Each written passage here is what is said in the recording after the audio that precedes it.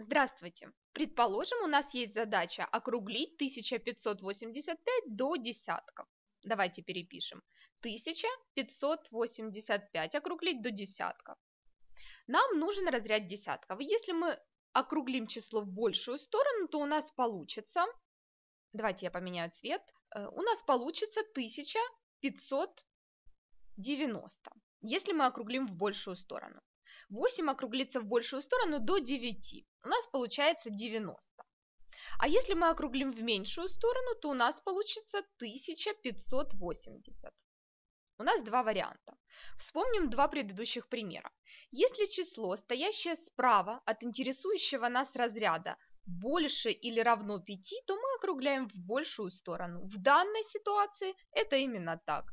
Это число 5, значит мы округляем в большую сторону. Ответ 1590. Задача решена. До новых встреч!